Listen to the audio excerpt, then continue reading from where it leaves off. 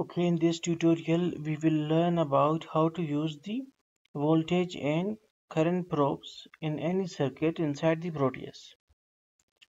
So for it first of all you need to take one DC source or you can also take the battery. So go to part list and write here the battery. Here you can select this single cell battery and press OK now we have placed the battery and its voltages are 1.5 volt. So we need to double click on it and we will change it to the 6 volt. Okay now we are supposed to take one resistor of 10 ohm. So it is 10 ohm and 0.6 volt resistor now we need to connect it to the positive terminal of the battery. We also need to take ground. And ground is connected to the negative terminal of the battery. Also take one more resistor. Uh, here okay. And attach the other part of the resistor with the top ground double click on this and change it to the 5 ohm. 5 or actually means the 5 ohms. So okay.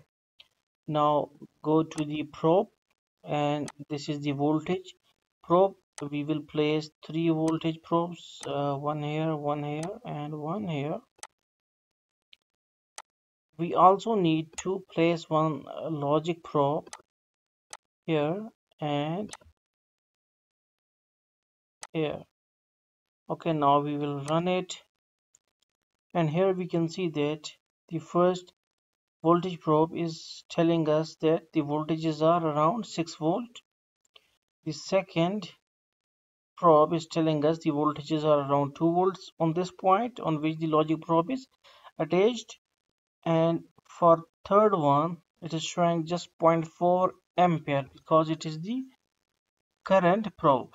And this R2 of 2 probe is showing voltage is equal to 0 because it is connected with that of the ground.